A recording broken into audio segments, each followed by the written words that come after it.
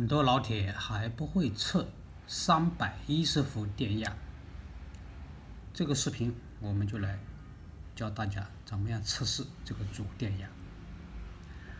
我们知道，三百一十伏电压在开关电源电路当中是一个相当关键的主电压，从这个指标当中可以反映出这个电路的正常与否。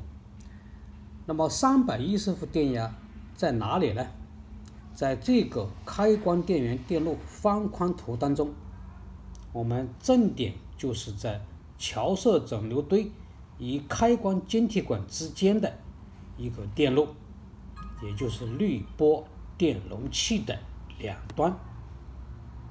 在实物图当中，就是这两个滤波电容器的。上下两端就是三百一十伏。好，下面我们来演示一下，直接插入管家婆。要测试这个电压，必须借助于这个测试神器，以确保安全。这样就预示着大电流短路，这样可以保护我们的二次伤害。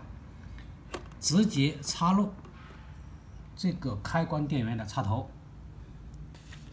把万能表的这个功能档打到直流电压的一千伏这个档位，然后我们红表笔接地，黑表笔接正极端，直接搭在这两个电容器的两端。